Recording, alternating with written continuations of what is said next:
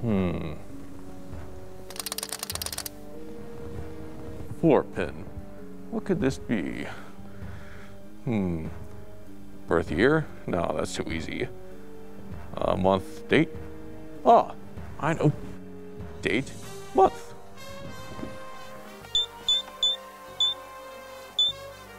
You just entered the secret code to Defense Mechanism 2.0, a whole nother build and has never been tested. I hope you learned your lesson of using sensitive information to your advantage. Too bad you will not live to tell the tale. Goodbye.